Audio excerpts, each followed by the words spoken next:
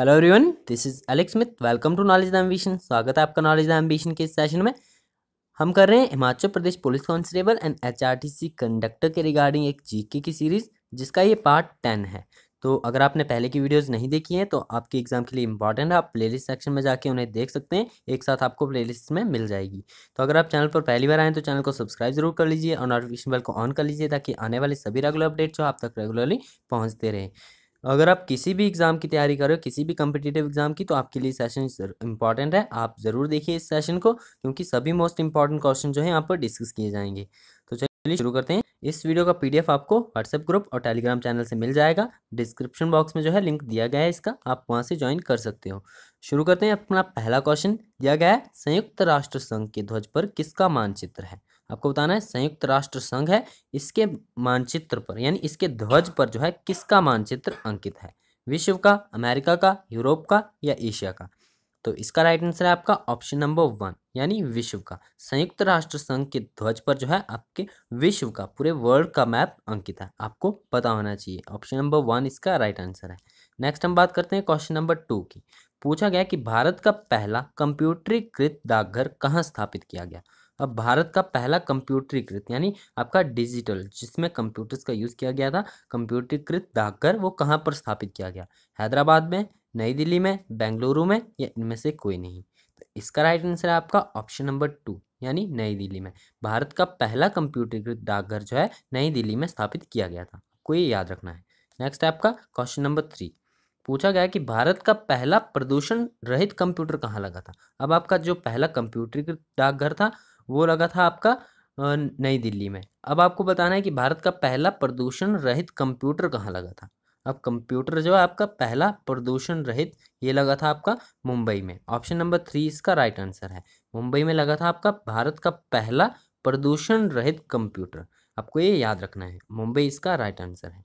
Next आपका question number four पूछा गया है कि एक मेगाबाइट में कितने किलोबाइट एक मेगाबाइट जो है आपका कितने किलोबाइट के तुल्य होता है। एक मेगाबाइट जो आपका कंप्यूटर में गिना जाता है मेगाबाइट, आपको बताना है कि वो कितने किलोबाइट के तुल्य होता है। 220 किलोबाइट पंद्रह सौ सतासी किलोबाइट, एक हज़ार चौबीस बाइट्स या फिर एक हज़ार चौबीस किलो बाइट्स के। तो किसके तुल्य होता है ये? इसका राइट आंसर आपका ऑप्शन नंबर फोर, यानी एक हज़ार चौबीस किलो बाइट के बराबर होता है आपका एक मेगाबाइट। आपको याद रखना है, एक मेगाबाइट इज़ इक्वल टू एक हज़ार चौबीस किलो बाइट नेक्स्ट है आपका क्वेश्चन नंबर फाइव पूछा गया है कि राष्ट्रीय पर्यावरण अभियांत्रिकी संस्थान कहाँ पर स्थित है? जो आपका राष्ट्रीय पर्यावरण अभियांत्रिकी संस्थान है, वो कहाँ पर स्थित है? नागपुर में, दिल्ली में, भोपाल में या हैदराबाद में? तो इसका आंसर आपका ऑप्शन नंबर वन यानी नागपुर में। राष्ट्रीय पर्यावरण अभियांत्रिकी संस्थान जो है, ये कहाँ पर स्थित है? ये नागपुर में स्थित है। इसका right answer option number one है। नेक्स्ट हम बात करते हैं क्वेश्चन नंबर सिक्स की। पूछा गया है कि अंतर्राष्ट्रीय मानक के अनुसार कितने डेसिबल से अधिक की ध्वनि जो है प्रदूषक मानी जाती है? आपको बताना है कितने डेसिबल से अधिक की ध्वनि जो है वो प्रदूषक मानी जाती है? चालीस डेसिबल से अधिक, पैंतालीस डेसिबल से अधिक, पचास डेसिबल से अधिक या पचपन डेसिबल से अधिक?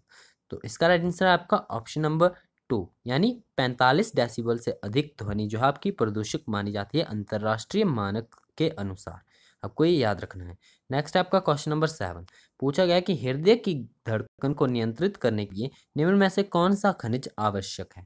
अब हृदय की धड़कन को नियंत्रित करने के लिए निम्न में से कौन सा खनिज आवश्यक है? Hydrocarborate sorry carbohydrate glucose potassium या इनमें से कोई नहीं।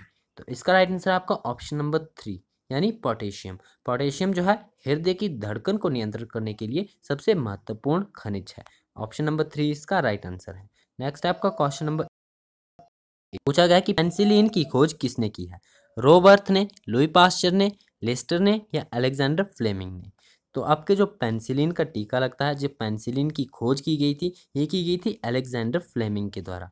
ऑप्शन नंबर फोर इसका राइट आंसर है। अलेक्जेंडर फ्लेमिंग के द्वारा ही आपकी पेंसिलिन की खोज की गई थी। नेक्स्ट है आपका क्वेश्चन नंबर नाइन पूछा गया कि गरीबी हटाओ का नारा किस पंचवर्षीय योजना में दिया गया था? आपको उस पंचवर्षीय योजना का नाम बताना है, जिसके अंत, जिसके दौरान जो है, गरीबी हटाओ का नारा दिया गया था। गरीबी हटाओ का नारा जब दिया गया, उस टाइम पे आपकी प्रधानमंत्री श्रीमती इंदिरा गांधी थी तो आपको बताना है कौन सी पंचवर्षीय योजना में ये नारा दिया गया था। पांचवी पंचवर्षीय योजना में, चौथी पंचवर्षीय योजना में, छठी में या सातवीं पंचवर्षीय योजना में? तो इसका राइट आंसर आपका ऑप्शन नंबर वन यानी पांचवी पंचवर्षीय योजना में जो है गरीबी हटाओ का नारा दिया गया था। और उस समय आपके जो प्राइम मिनिस्टर थी, वो श्रीमती इंदिरा गांधी थी। आपको ये याद रखना है। नेक्स्ट है आपका क्वेश्चन नंबर टेन। पूछा गया कि किसान क्रेडिट कार्ड योजना का शुभारंभ कब हुआ था?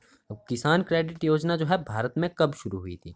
2002 में, उन्नीस में, उन्नीस सौ छियानवे में या 2014 में? तो इसका राइट आंसर है आपका ऑप्शन नंबर टू, यानी 1998 में। उन्नीस में किसान क्रेडिट कार्ड योजना का शुभारंभ हो गया था। भारत में जो है किसान क्रेडिट योजना का शुभारंभ कब हुआ था? 1998 में हुआ था। आपको ये याद रखना है। नेक्स्ट है, क्वेश्चन नंबर इलेवन। पूछा गया कि निम्न में से किस राज्य में विधानसभा सदस्यों की संख्या सबसे अधिक है? काफ़ी आपका ये कॉमन क्वेश्चन है, सबको पता होता है, किस राज्य में जो है विधानसभा सदस्यों की संख्या सबसे अधिक है?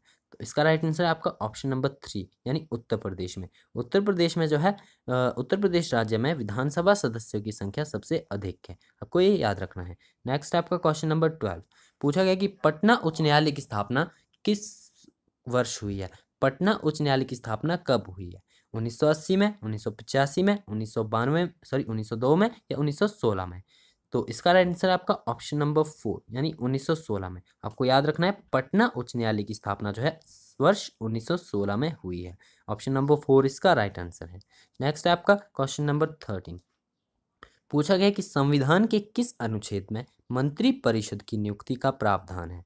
संविधान के उस अनुच्छेद का आपको नाम बताना है, जिसमें कि मंत्री परिषद की नियुक्ति का प्रावधान है। अनुच्छेद पचहत्तर में, अनुच्छेद बयासी में, अनुच्छेद 124 में या अनुच्छेद 123 में। तो इसका राइट आंसर है आपका ऑप्शन नंबर वन यानी अनुच्छेद पचहत्तर के तहत आपका जो मंत्री परिषद की नियुक्ति है, उसका प्रावधान किया गया है, अनुच्छेद पचहत्तर के अंतर्गत। तो आपको याद रखना है ऑप्शन नंबर वन इसका राइट आंसर है। नेक्स्ट आपका क्वेश्चन नंबर फोर्टीन पूछा गया कि उपराष्ट्रपति के चुनाव संबंधी विवाद में को निम्न में से कौन देखता है? यानी उपराष्ट्रपति के चुनाव संबंधी जो भी आपके विवाद होते हैं, निम्न में से उन्हें कौन देखता है? संसद देखती है, सर्वोच्च न्यायालय देखता है या उच्च न्यायालय देखता है या इनमें से कोई नहीं? तो इसका राइट आंसर है आपका ऑप्शन नंबर टू, यानी सर्वोच्च न्यायालय। जो आपका उपराष्ट्रपति के चुनाव से संबंधी कोई भी अगर विवाद होता है तो वो देखा जाता है, उसमें निर्णय लिया जाता है सर्वोच्च न्यायालय के द्वारा। ऑप्शन नंबर टू, इसका राइट आंसर है।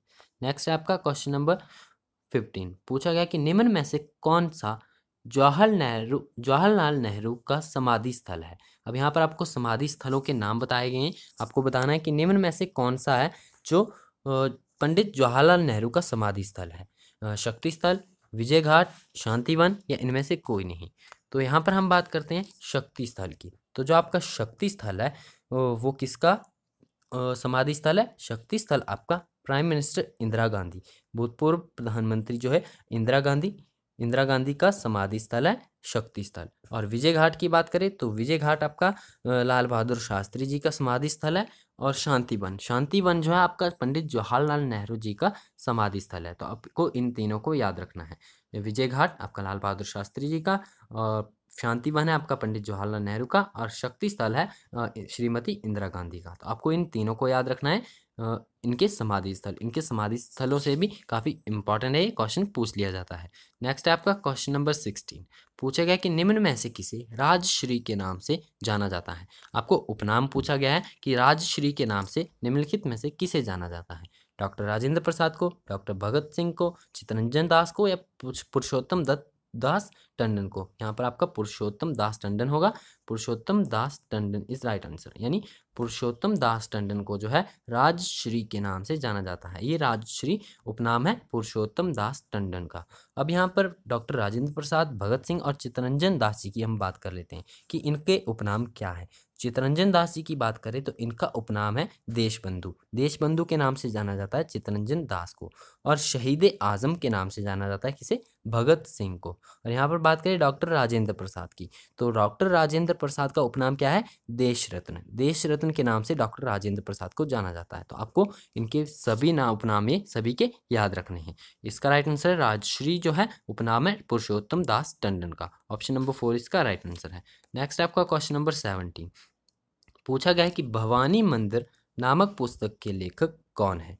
ये भवानी मंदिर नामक पुस्तक है। इसके लेखक निम्नलिखित में से कौन है? वरेंद्र कुमार घोष, शायर इकबाल, रविंद्रनाथ टैगोर या इनमें से कोई नहीं?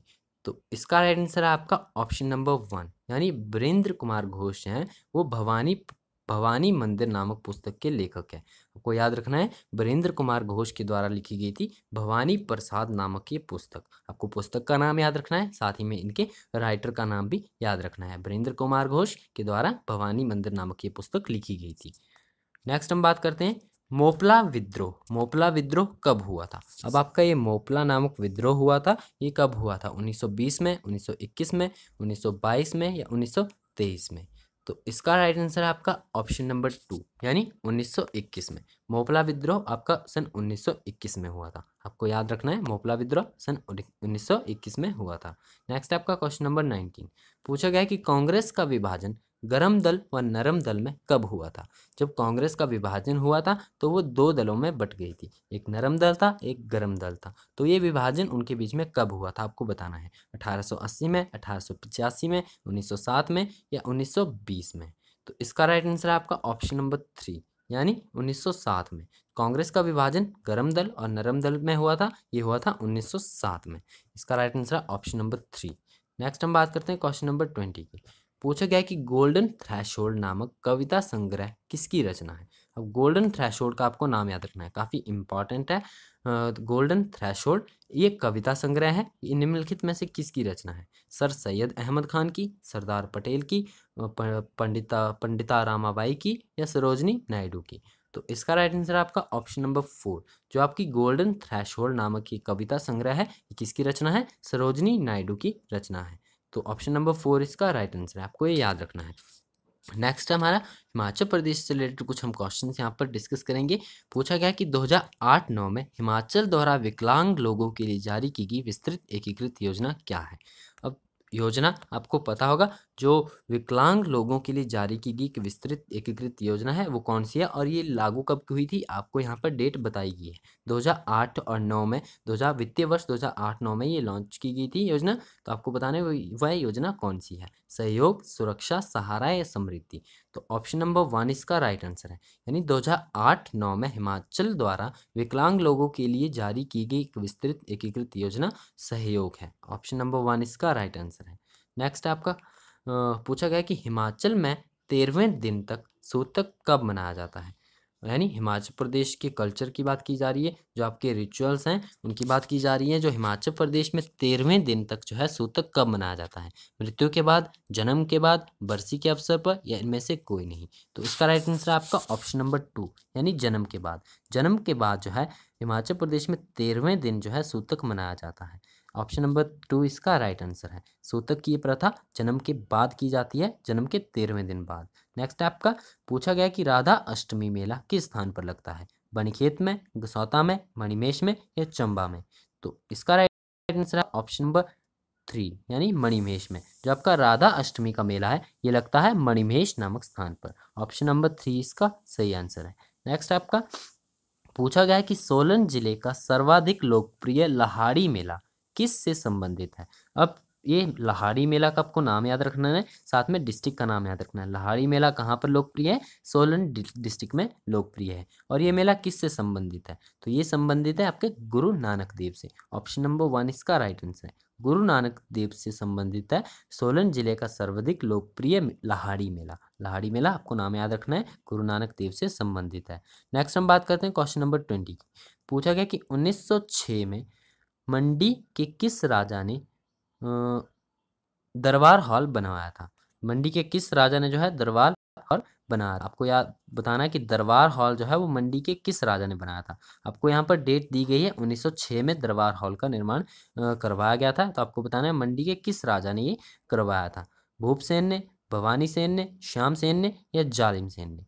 तो आपका इसका राइट आंसर है ऑप्शन नंबर टू यानी भवानी सेन ने। भवानी सेन ने जो है मंडी में दरबार हॉल बनाया था। ऑप्शन नंबर टू इसका राइट आंसर है। नेक्स्ट हम बात करते हैं।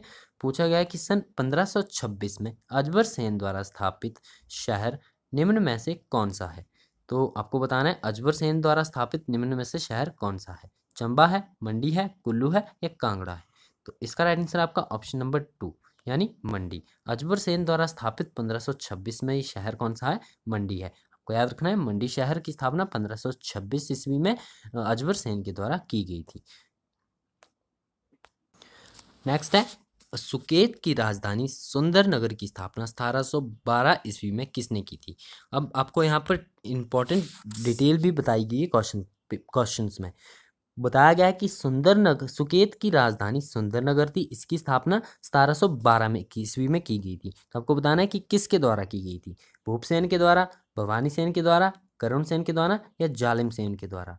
तो इसका राइट आंसर आपका ऑप्शन नंबर थ्री यानी गरुण सेन के द्वारा जो है, सुकेत की राजधानी सुंदर नगर की स्थापना 1712 ईस्वी में की गई थी। आपको ये, यहाँ से जितनी भी जानकारी आप कलेक्ट कर सकते हो, आप करिए, क्योंकि एग्ज़ाम में किसी भी तरीके से क्वेश्चन पूछा जा सकता है। आपको पता होना चाहिए, सुकेत की राजधानी सुंदरनगर की स्थापना कब की गई थी? सतारह सौ बारह ईस्वी में की गई थी। किसके द्वारा की गई थी? गरुण सेन के द्वारा की गई थी। ऑप्शन नंबर थ्री इसका राइट आंसर है।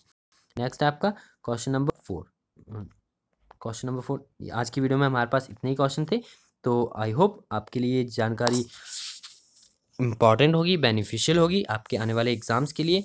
तो वीडियो अच्छी लगी तो वीडियो को लाइक ज़रूर कीजिएगा, अपने फ्रेंड्स के साथ शेयर ज़रूर कीजिएगा और चैनल पर पहली बार आए तो प्लीज़ चैनल को सब्सक्राइब ज़रूर कर लीजिए और नोटिफिकेशन बेल को ऑन कर लीजिए ताकि आने वाले सभी रेगुलर अपडेट आप तक रेगुलरली पहुँचते रहे। आज की वीडियो में इतना ही। मिलते हैं नेक्स्ट वीडियो में। Thanks for watching best of luck for your bright future